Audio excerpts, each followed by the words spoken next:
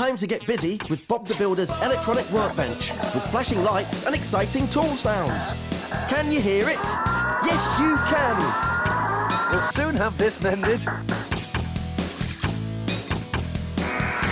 Bob the Builder's electronic workbench from Born to Play.